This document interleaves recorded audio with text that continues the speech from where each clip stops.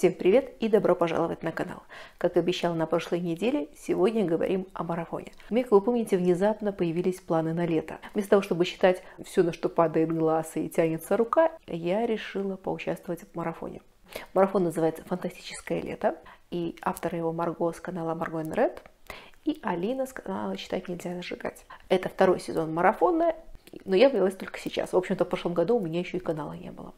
Я себе напланировала довольно-таки обширный список книг, и кажется, я готова немножко отчитаться по прочитанному. Кстати, а из вас, э, смотрящих это видео, есть ли кто-то, кто участвует в марафоне, как буктюбер или просто как читатель, читающий для себя?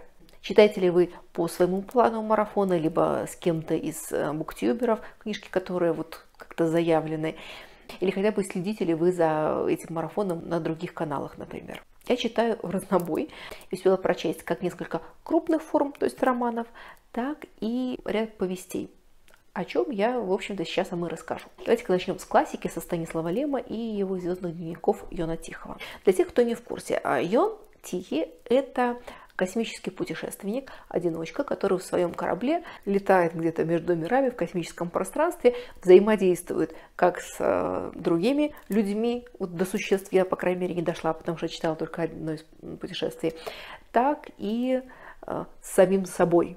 В том смысле, что как раз-таки рассказ читанный мною в рамках хронофантастики, седьмое его путешествие, собственно, этому и посвящен. Йонтьей попадает в некую космическую аномалию, которая создает несколько временных рукавов, что ли, для него.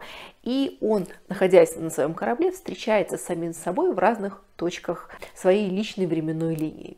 А так как это лем, то есть это уже такой своеобразный, ироничный, местами саркастический язык с дополнительными какими-то смыслами, аллюзиями, иронией над какими-то явлениями, скажем так. Плюс сама эта книга написана довольно э, своеобразно. Я не ринулась ее тут же дочитывать. И скажу, что я читала ее так же комфортно, как, например, «Солярис». И, кстати, по интонациям, по авторскому стилю все-таки книги очень различаются. «Солярис», я имею в виду, и вот «Звездные дневники Йона Тихого».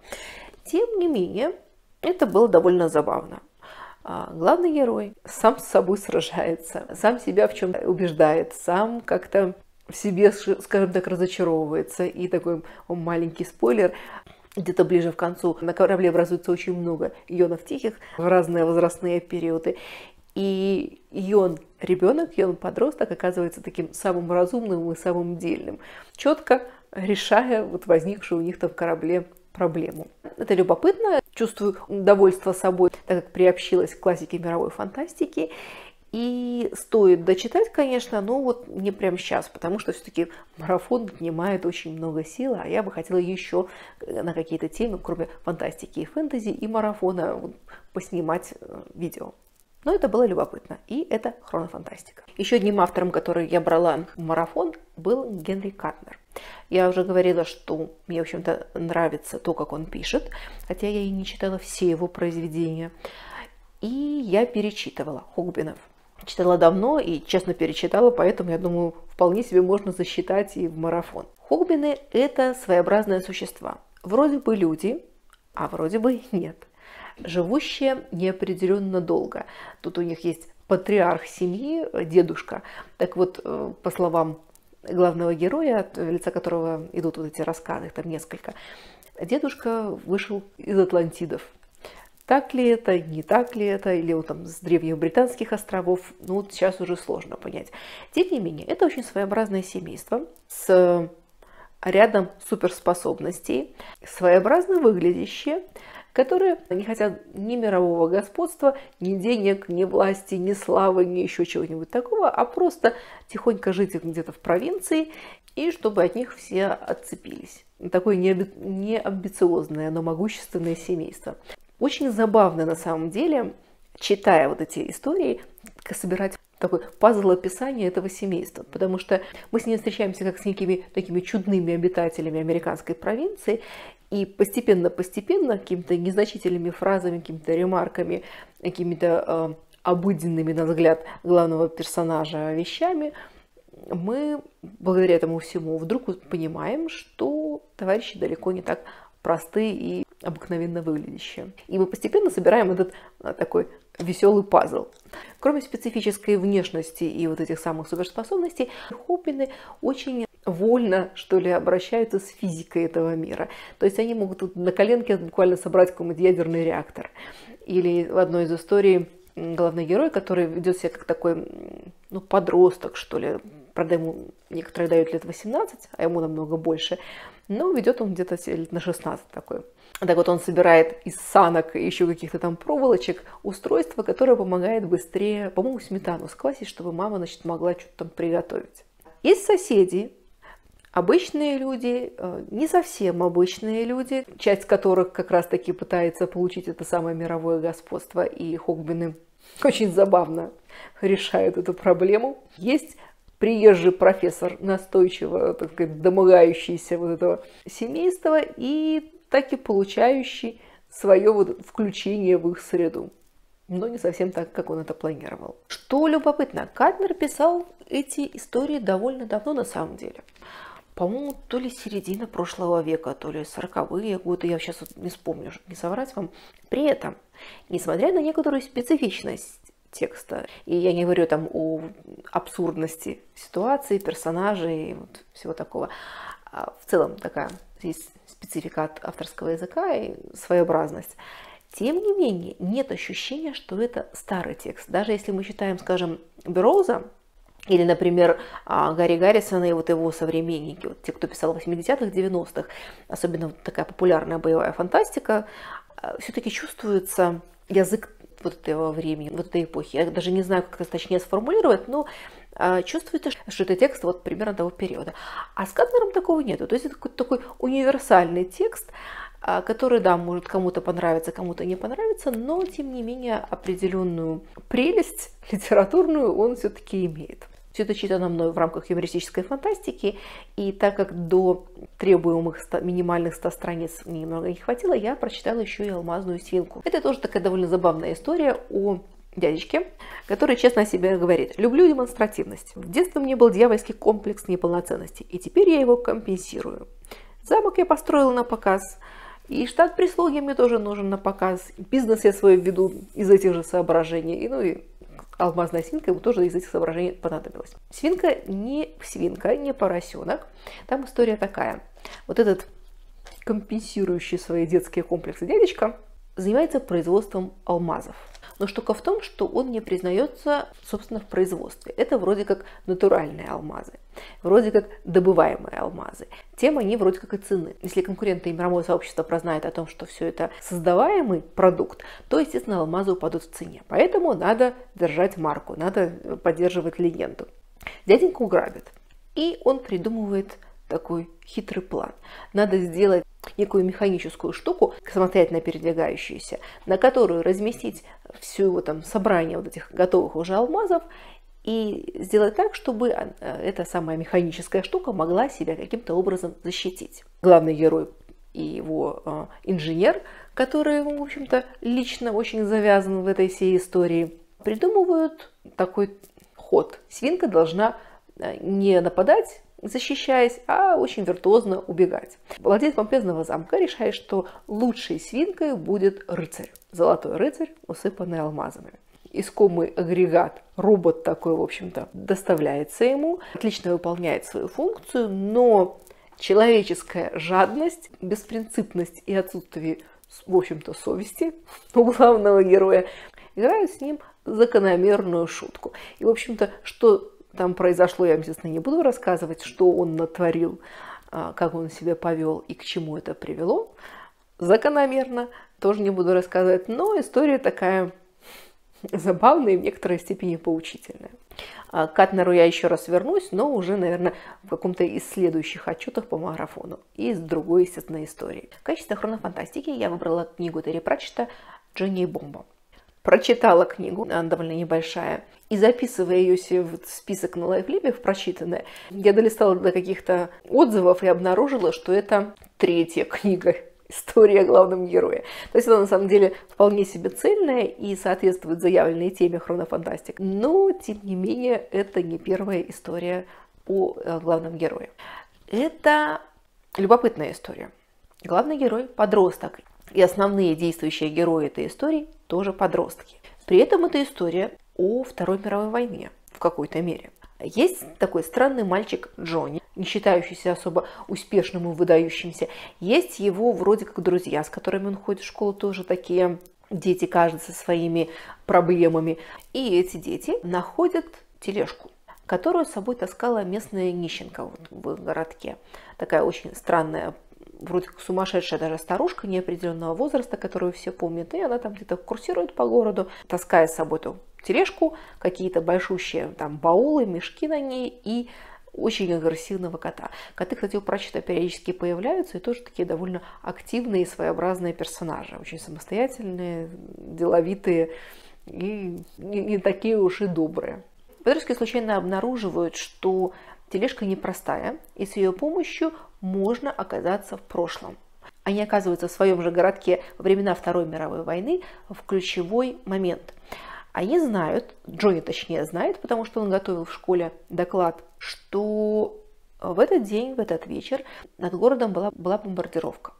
Из-за непогоды, из-за грозы самолеты, которые летели бомбить, я уж не помню, какое-то другое место, то ли город, то ли какую-то базу, сбросили эти бомбы на их городок и пострадала какая-то главная улица, какое-то количество людей пострадало, и дети решают вмешаться, как-нибудь так поменять события, чтобы вроде как и не сильно что-то изменить, разделить, так сказать, временные потоки, но при этом помочь городу. История получилась, не сказать, чтобы прям героическая но при этом довольно живая. То есть подростки, которые тебя даже в какой-то момент раздражают какими-то своими там поступками или какими-то своими мыслями, при этом ведут себя вполне как подростки. И действия и решения, которые они принимают, вполне себе естественно для их возраста. При этом какая-то такая и Пратчетовская история не похожа на плоский мир, но скорее на какие-то другие его истории вне этого плоского мира. И какая-то такая немножко английская, рискну сказать. И при всем при этом, кроме вот основного сюжета, хватает а, места для раскрытия каких-то личных качеств того же Джонни, например. Да? То есть получился какой-то такой, что ли, бытовой героизм. Э, вроде бы не масштабная какая-то героика, не масштабное свершение там, и решение, но какие-то вещи, которые значимы для жителей города, значимы для персонажей, и они как-то обходятся вот со сложившимися обстоятельствами и проблемами. Я как человек, который читает Прачета э, комфортно, мне вполне себе история зашла, хотя вот и сюрпризом оказалось то, что это третья часть. Не знаю, может кому-то покажется скучно. Тут уж я не берусь предсказывать. В рамках марафона я прочитала рассказ повесть, рассказ, наверное, скорее всего, Нила Геймана «Этюд в изумрудных тонах».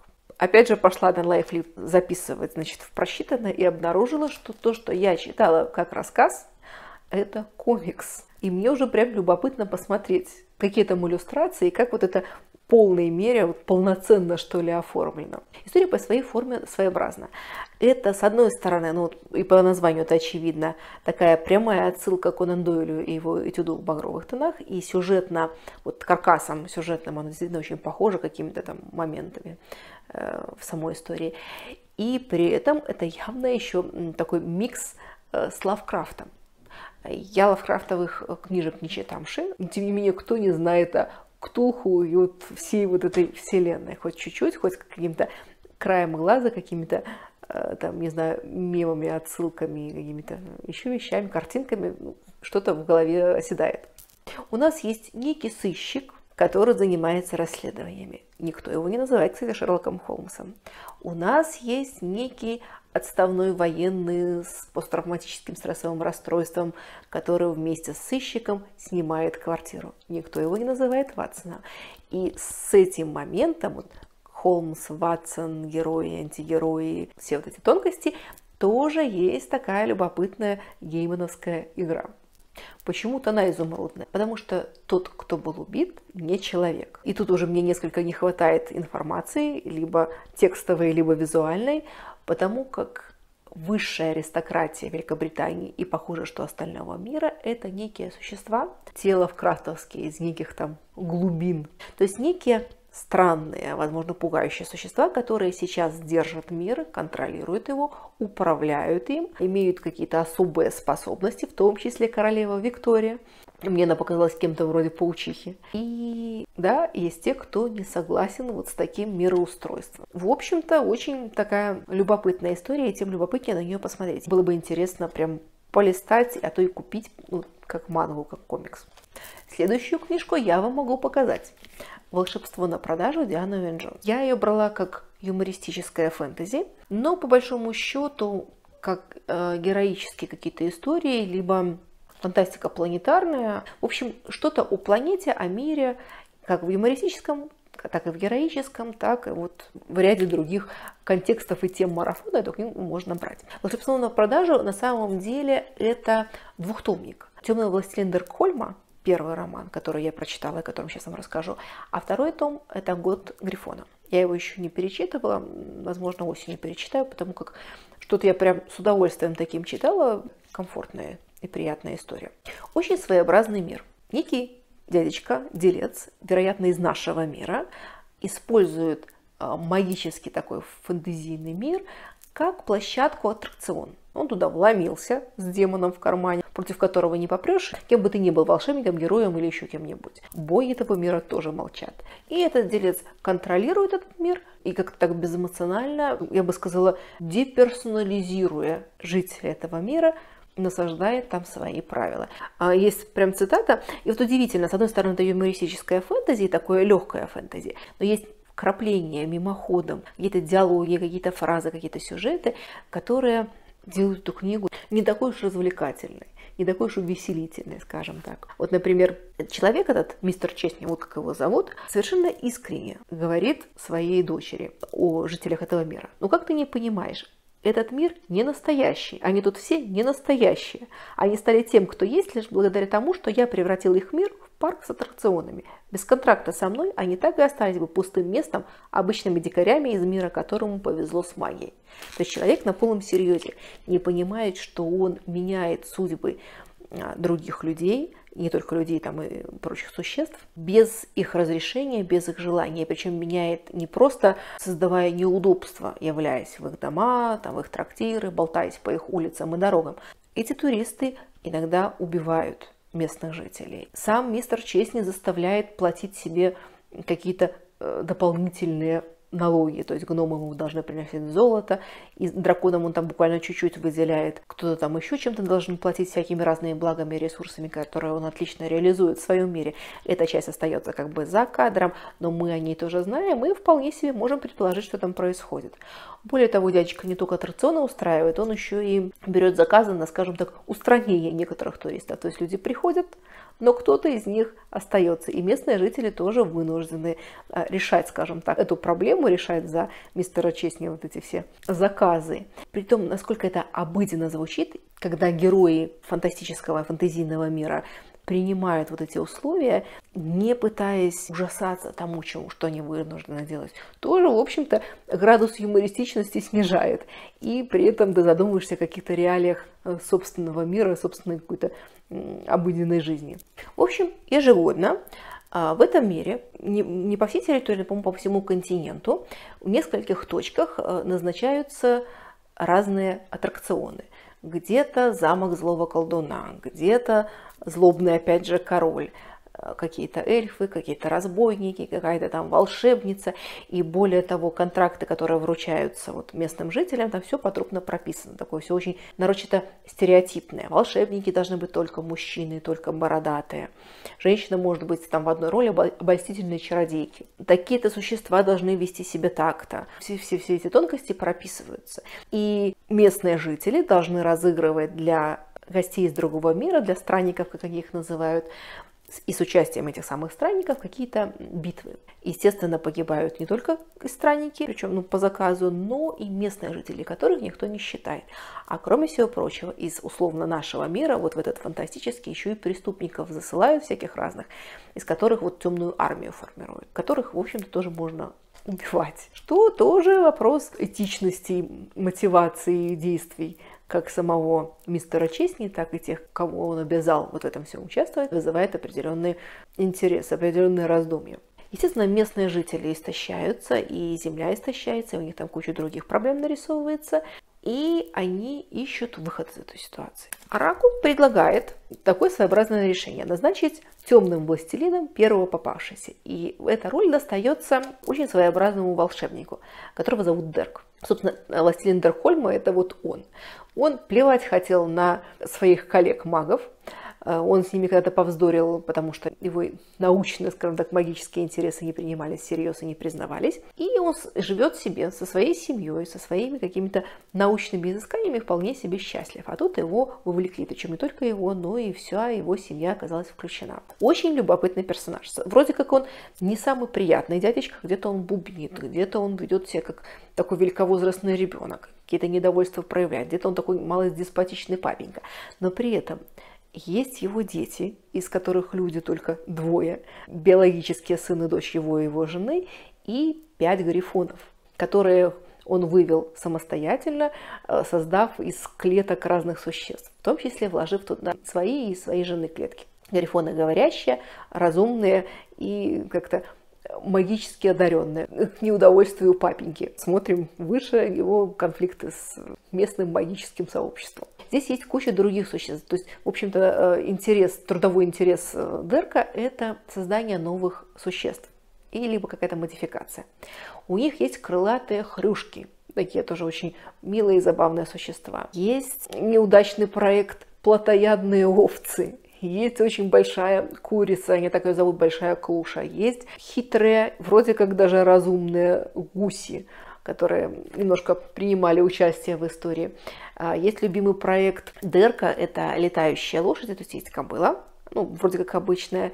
Есть ее дочка крылатая, говорящая, сообразительная, любящая мать для своего же ребенка. И, собственно, этот же ребенок, который более совершенен, как летающая лошадь, более умный, но и вредный. Причем не преднамеренно вредный, а ведущий себя как такой маленький, где-то шалящий, где-то вредничающий ребенок. И, в общем, куча-куча других каких-то существ. Естественно, мы имеем эльфов, гномов, драконов тоже разумных, ну и человеческое сообщество. Мне нравится, как эта книжка написана. Мне нравится, как Диана Уин Джонс показывает нам вот эту своеобразную семью, какие-то отношения между ними, какие-то конфликты, какие-то старые детские воспоминания, такие как, знаете, фотографии эмоционально насыщенные то, как они как-то меняются, помогают друг другу, учатся иначе смотреть друг на друга, да, там какие-то личные проблемы решают.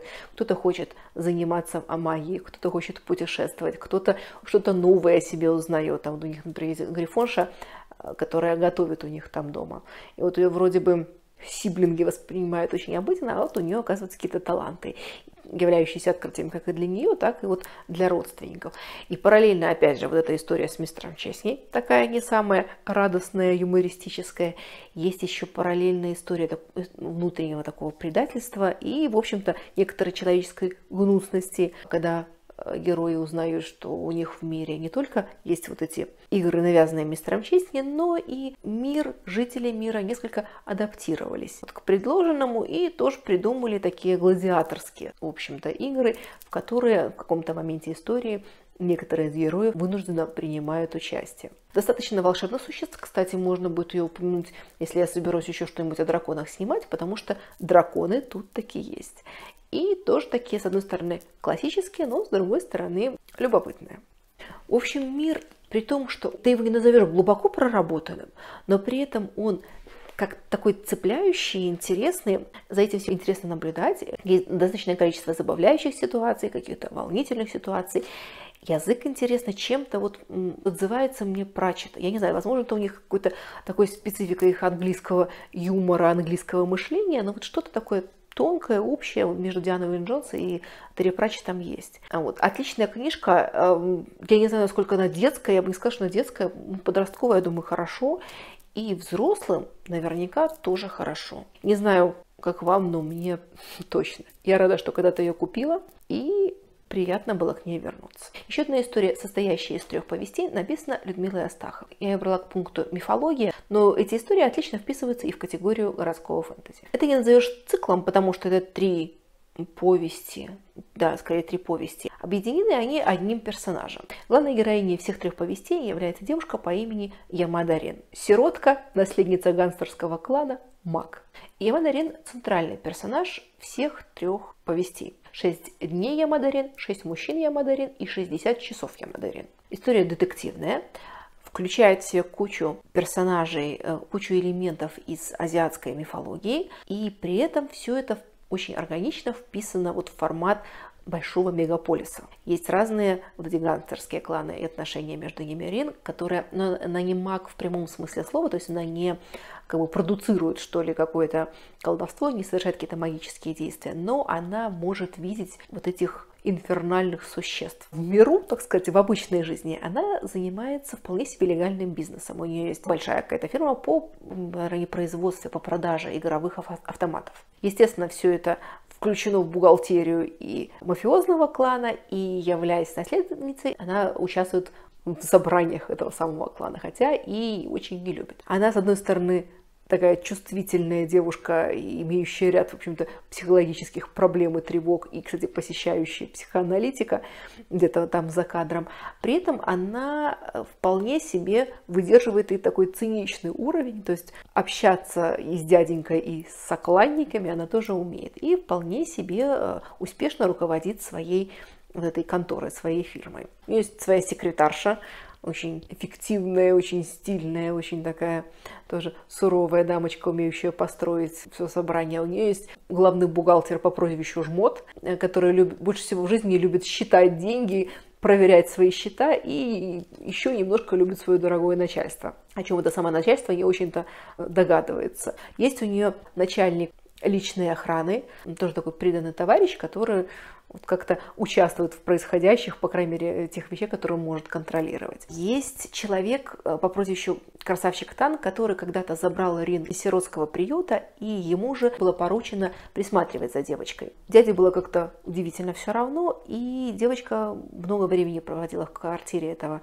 самого красавчика, а, довольно жестко была научена им э, экономить и не делиться своими деньгами, то есть вот как-то обращаться с финансами. При этом это был единственный человек, который искренне о ней заботился и продолжает заботиться, и тот, чье благополучие, в общем-то, тоже очень значимо для нее. То есть такой полумама, полупапа, полуродственник, который местами требует какой-то опеки, особенно в вопросах безудержности выпивки. Сильно здоровых и таких просветленных личностей там попробуй найди, но и среда такая. В общем-то, гангстерские кланы, поэтому местами даже лексика такая малость суровая или же обсценная встречается. Что за 6 дней?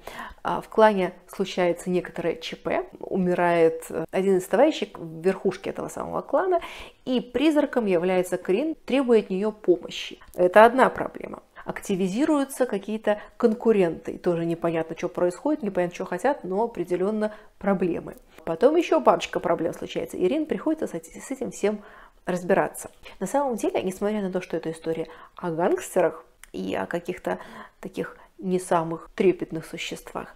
Это еще и классический сюжет э, истории отношений, ну, прям скажем, истории любви между девятихвостым лисом Кицуне и принцессой. В роли принцессы, собственно, у нас наследница гансерского клана. Девятихвостые лисы, в принципе, это очень много смыслов каких-то, какие-то значения имеют вот э, в азиатской мифологии. Где-то они такие помогающие существа, где-то очень хитрые, а где-то они страдающие, потому что есть легенда о том, что если девятихвостый лис или лисица там полюбит простого человека, и этот самый простой человек вот этого лиса предаст, то последствия для лиса будут самые трагические. То тоже добавляет изюминку в повествование ожидания, догадки, а потом уже какие-то переживания, связанные вот с личной жизнью, скажем так, нашей главной героини. Кроме вышеобозначенных мужчин, есть еще парочка. Кто-то конкурент, кто-то коллега, но и при этом тоже конкурент. Есть полицейский, который тоже такой принципиальный товарищ с непростым анамнезом, но крепко держащийся за букву закона. И если все это представлять, естественно, в таких корейско-китайских э, персонажах, то картинка тоже получается очень такая хорошенькая и красивая. А, забыла сказать, среди всех вот этих знакомцев, родственников, коллег и прочих мужчин вокруг Рин, есть еще и Ками.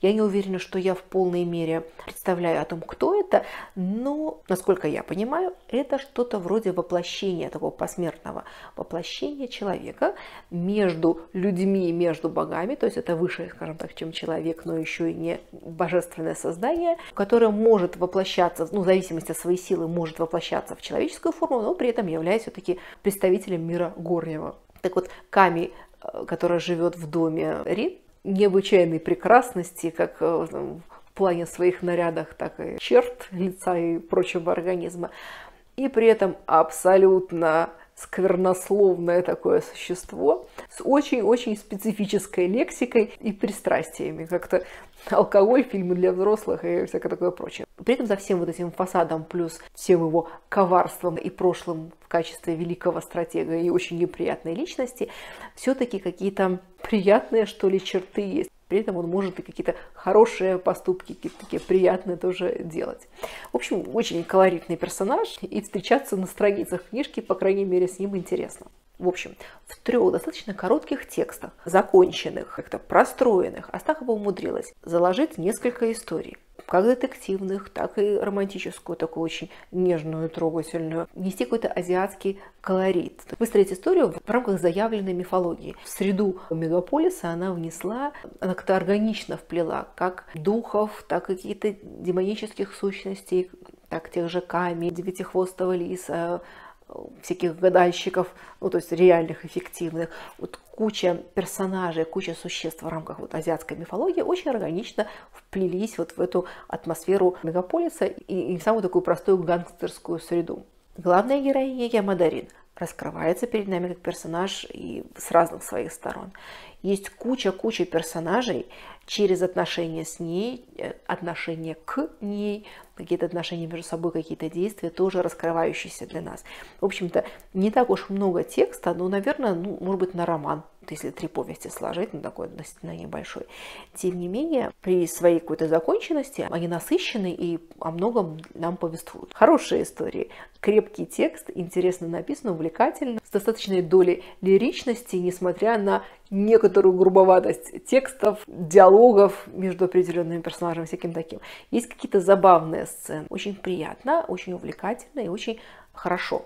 Я надеюсь, что про Ямадурин мы еще услышим, и будет хотя бы одна, а то еще парочку историй об этом персонаже и о тех, кто ее окружает. Вот такая первая отчетная подборка по марафону у меня получилась. Мне кажется, довольно неплохо я двигаюсь. Шесть историй разной степени крупности, но каждая из которых, в общем-то, неплохая и интересна по-своему.